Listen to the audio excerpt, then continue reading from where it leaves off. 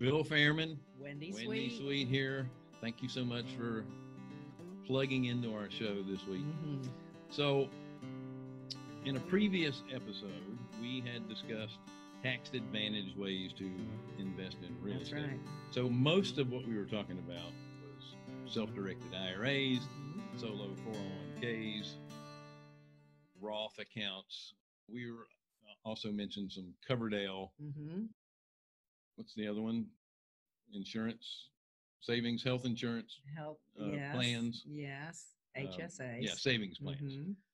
But there was one more that I wanted to cover, and it's called a whole life policy, and it's not very many people know about this. Well, that, I want to say something really quick before you go into this because when I remember when Bill first brought up this whole life policy thing to me, and you might have the same opinion that I had in the beginning, which was everybody knows that life insurance doesn't work. It there's a scam out there. There's it, it's you know term is the only way to go, and you're putting money in a pit and and after talking to our next guest, I mean, he, he, he totally changed my opinion because they've got a really good way to work it, right? well, yeah, and most money managers will tell you that insurance policies are for insurance, Right.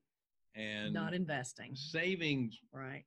For retirement are for financial planners and the stock market and, and real estate because most insurance companies are investing conservatively and you're not going to get that return. Right. And for what you're, you're just better off taking that extra that you'd pay for the premium for the whole life that's going towards the savings and invest that in the stock market and you'd be better off. But they don't tell you about the added benefits to this. And there's only a few companies out there nationwide that will do the type of whole life policy. That's right. And that we're, in with about. one. And you, can actually add to the cash value. That's right. And the other thing was it takes you a long time to get a cash right. value. Well, let's let Chris talk. Anyway, without further ado, I do, we do. our friend uh, Chris Miles, he, he is a financial advisor by trade anyway, not to mention But he doesn't like to admit that, does he? yeah, he's the anti-financial anti. Yeah, that's right. And uh, not only that, he's a, a pretty good dancer. Last yes, time he is. we got together for an event, he made everybody in the audience get up and practice some dance That's steps right. too. So, Chris, thank you so much for joining us, my friend. well, thanks for that awesome intro. Yeah. Chris, give us a little kind of a holistic look at the plan that, that we were talking about, the, the whole life policy where you can actually force early cash value on it and kind of how, that. how that works. Because we, we force Mm. appreciation on uh, real estate by, you know, upgrading it, right? So it kind of Right. reminds me of that. Yeah, let me kind of jump in really quick about how I came about to be that way because I was kind of like Wendy too. I actually was totally against whole life. You know, like I started out 18 years ago as the mainstream financial advisor. You know, did that for four years. But the thing is, and, and this is why it's so crucial what people are listening to with you, what you guys too, with your fund and everything else, is that the stock market does not return the way they say it does. You know, Mm. there's average and then there's actual returns, right? And the actual return of the stock market, if you look at the last 30 years, is only seven and a half percent. That's if you put that in the calculator, you would actually get the right number, not 10 or 12. Mm. And on top of that, cash flow sucks, right? So it's not a good cash flow play, anyways. So when you combine all that together, I realized about 2006 that I was really just a salesman in a suit Hmm. and I was selling crap, you know, and it didn't work. And and by me doing the opposite of that advice, by actually investing for cash flow and like the things you guys talk about, I was actually able to retire when nobody else in the financial industry was retiring, right? Ooh. And I think that's a, a key thing to understand. That's why I became an anti-financial advisor, right? Later on, because you know, people, of course, I was like, I'll never teach about money again. I'll never be a financial advisor. And then people are like, yeah, but how'd you do it? Right. And that's kind of what pulled me out by 2007 and such. And, and around that same time, I met a lot of real estate investors and different millionaires, and they're the ones that are saying, hey, whole life is awesome. I'm like, what are you talking about? I was always told that whole life sucks. Like you get like maybe a one or 2% rate of return. I do better just buying term and investing in the market. That's kind of what I taught before, right? And they're like, no, no, no, it's so much bigger than that. Like, and, and they were even just talking about like how the death benefit gives you permission to spend money and stuff. But over the years, I started to realize wait a minute, if I come from an investor perspective, I want cash now. I want as much cash as possible. I want as little co- going to cost as possible. I want leverage, right? I want to do that. And, and that's what I found out is that we're able to create this really tax-free supercharged savings account, right? You know, same thing that people do when they take money out of their savings and they go and invest it and then they hope to get an income back. So if they go into your guys' fund, it kicks back a, you know, kicks back a return. They get their monthly payment or, or quarterly, right? Dividends or whatever. And then when they get that return, they're like, cool, I just made some cash flow. And they'll put it right back into savings to try to rebuild that savings back up. But what we do with the life insurance, we do the same thing. There are some insurance costs, especially in the beginning. But if we can minimize those costs to where most of your money is all going to cash, so you can use this tax-free savings account that earns, you know, at least four or five percent tax-free average returns, right? That's if you do nothing with it. Right. But then you can take that money, you can get a line of credit from the, the uh, like a private line of credit from the insurance company, use that money to invest. You can take that money you get from cash flow, pay it towards the line of credit. And what happens is because you've got all that cash still sitting there because you didn't deplete the cash by withdrawing all the money out. Now all the cash is in there earning compound tax free interest. Mm-hmm. That's growing while you're also getting the cash flow paying that loan back. What happens is almost like when you use a HELOC. It's like a HELOC that actually pays you interest, right? right. And what ends up happening is now you have money growing here tax free. And because the cash flow coming through, you're still getting the cash flow from the investment. You end up making more money than you would just using a savings account, just, you know, investing, refilling it, the savings back up, investing again, and refilling it back up. You create this like really faster version of an income snowball. Hmm. So that gives you an opportunity to do one of two things. You could take the cash flow, the difference between what home payments are and what you're making in the outside investment, right? Mhm. Right. Uh, you can take that as income or some sort of, you know, monthly payments, if you will, or you can actually take all the earnings, pay down the line, the payments on the line, and take the profits and put it into your cash value policy. That money, obviously, there's a, a, a taxable event on that part that you've earned outside of the policy, but you're Right. taking those proceeds and you're adding it to your balance and you're allowing that to con- continue to compound and grow over time. So you're basically compounding the compounding. Compound is key. Does that make sense? The eighth wonder Yeah. of the world, we say. Right? So if you don't need it as income, you can just continue to add it to your your, your balance in there, right? Yeah, you're getting two returns in the same time, right? With the same money, you're making money in two places at the same time, right? And that's basically what's happening. Um, you know, kind of give you an example, like like for example, your fund right now, like is it how often does it pay out? Uh, quarterly. It's quarterly, right? Okay, that's what I thought. So obviously, if you're getting mon- monthly, quarterly, somebody puts in a hundred grand into your fund, right? They're going to make, you know, about what is that, fifteen hundred bucks a quarter, right? Something like that. Yeah. So you know, six thousand a year. You could take that six thousand a year, put it right back in, you know, and and pay down towards that line of credit. Here's the cool thing: unlike a home equity line of credit, right, where if you were to do that same thing, now before you pay your first quarterly payment, they got to pay a couple monthly payments to the bank.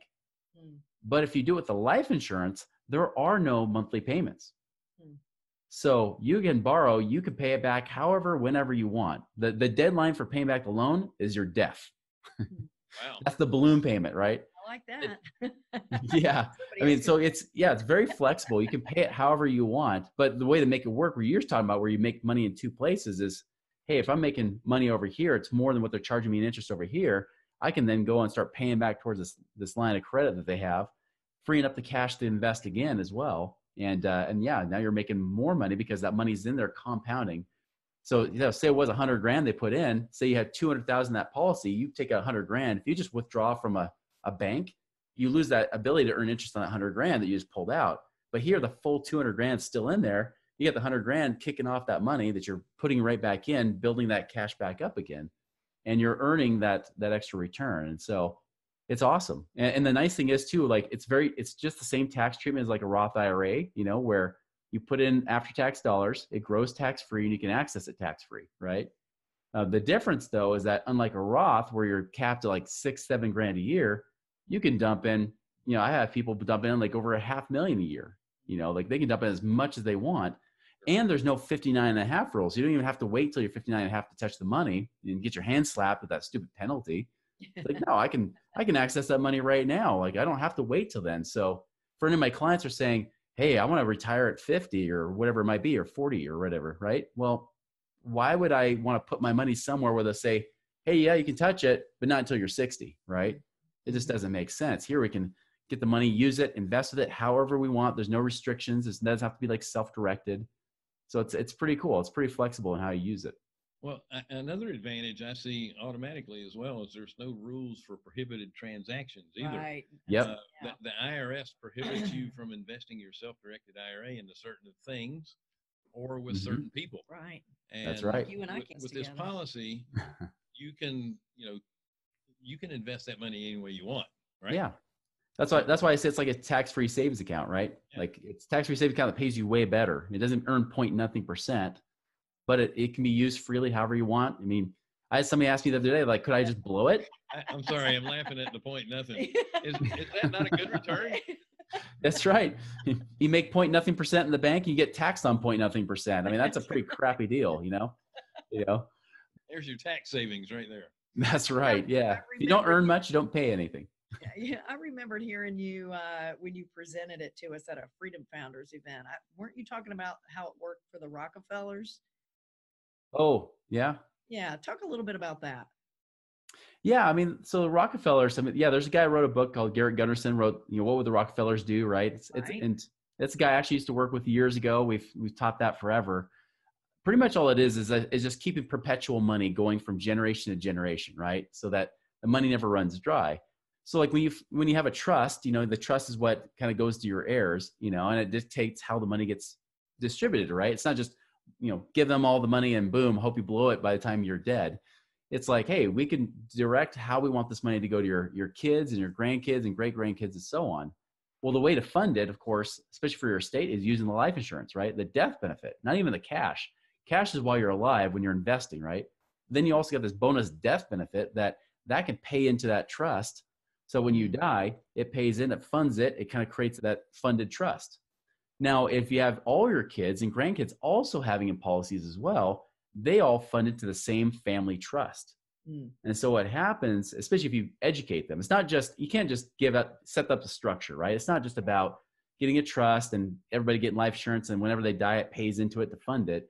It's also got to be education based too. You got to be teaching them, hey, how do I get, you know, how do I actually cr- create money? You know, how could I not be a mooch, you know, you know, not be an entitled trust fund baby Right. you know that kind of thing. And so you could set up parameter to say hey you know what? And before you get access to this read rich dad poor dad or do this or do that you know? And if you ta access money from the trust you got to pay it back with interest. So you got to borrow from it rather than just receive it right? Right. you know that kind of thing. Like it's your responsibility to take that money and kind of like the parable of the talents in the bible. Mhm. like it's your responsibility to take it and make more with it not just bury it and or blow it you know? That would be the fourth servant if that if there was a fourth servant in the parable of the talents you know? like there's a guy just blew it. It's like i got nothing left. Sorry you know?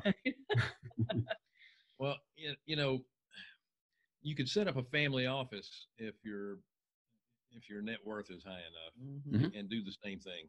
I I know that before they had the benefits for your uh, larger companies back in the day, before you had your pension plans, they would take their top executives and they would do the same thing. They'd get a Mhm. life insurance policy, and that life That's right. insurance policy on those executives went towards the company to provide benefits for the executives Mm. and when one Yep. passed away they would replenish it so back to you know being the bank yourself when, when you have these policies and you can uh, borrow against them why pay the bank when you can borrow from yourself and pay yourself back with interest and just continue to perpetuate the legacy Mhm. but, That's right. but you're right typically after what three generations the fourth one doesn't have any money left because they haven't been trained properly or educated properly on, on how That's to right. keep it going Mhm. Uh, that's exactly it you're always i'll see what happens to paris hilton's kids right right. well listen you're always going to have somebody that's going to be i don't want to say worthless but kind of a sponge off the rest of them but at, at least with a death benefit when they do die they put something back in right That's true.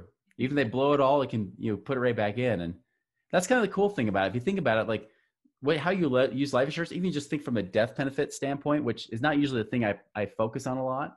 But when you think about it from that standpoint, it kind of gives you the permission to blow your money while you're alive. right? You can spend down on your assets or build assets. You can do either, right?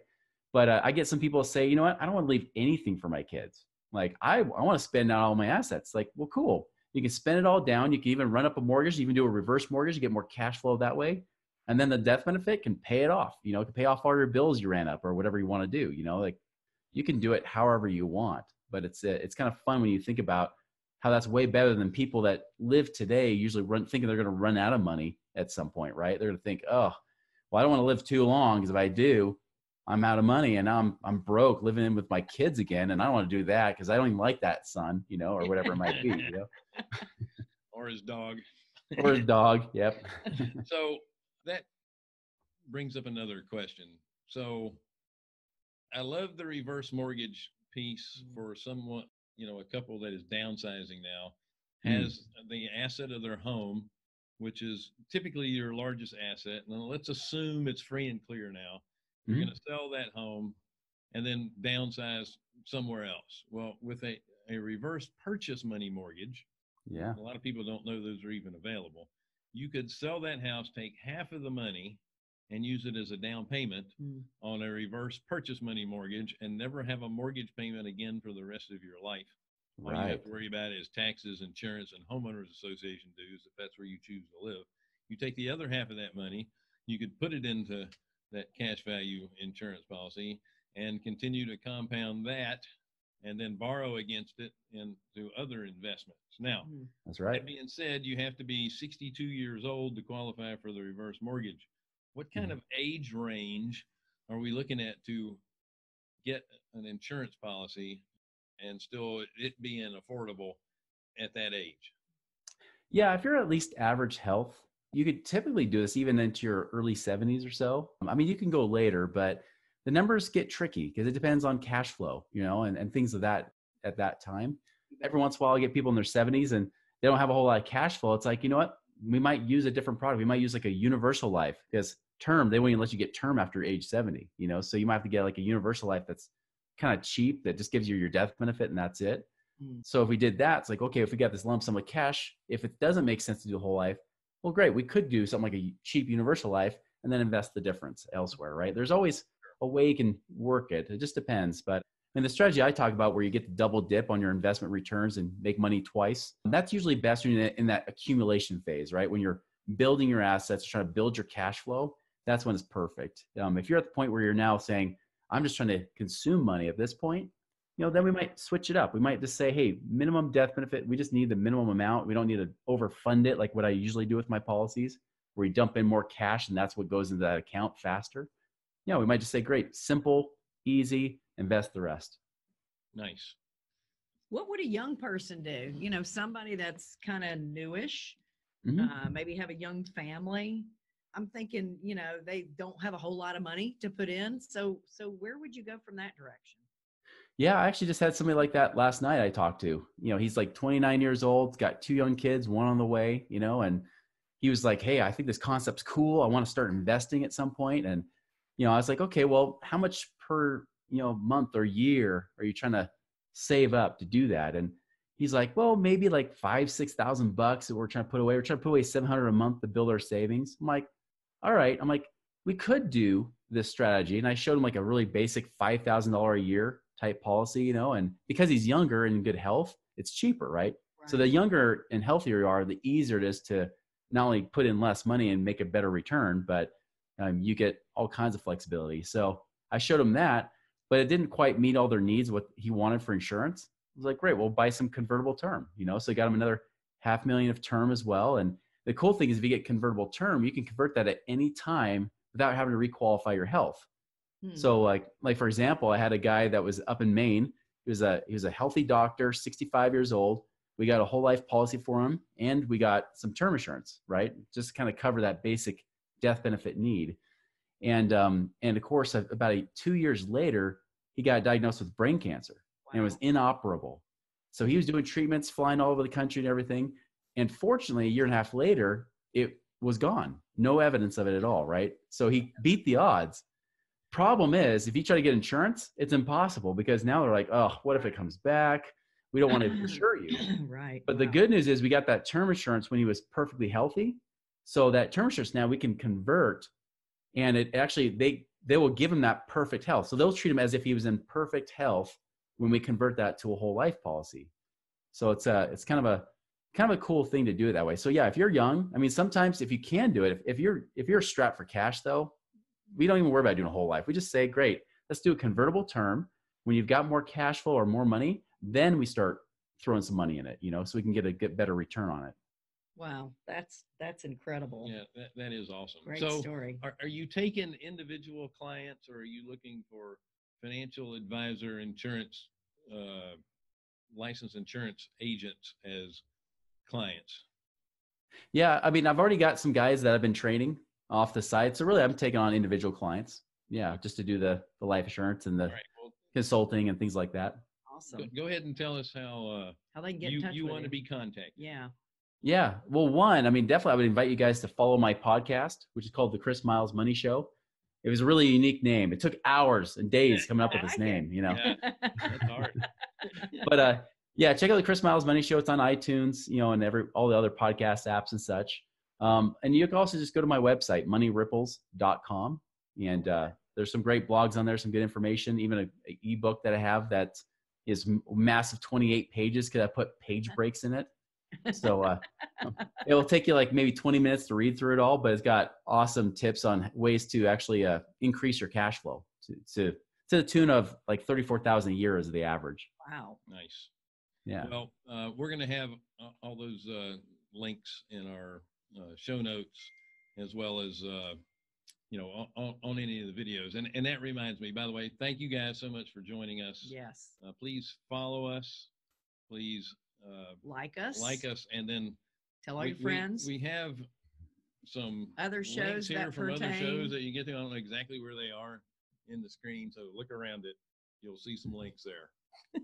and Chris's information as well, Uh, right? Chris, you've been awesome. Thank you so much for for joining us. And, It's been a uh, pleasure. It's been a lot of fun, guys. Thanks. Thank um, you. We'll see you guys on the next show.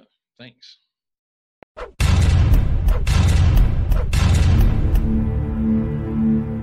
So, thank you so much for joining us. If you really like what you heard, you want to see some more, switch over here or here or perhaps there. There's more episodes, but they're somewhere. Yeah. I think Click it on. By the way, subscribe and like us as well. Please.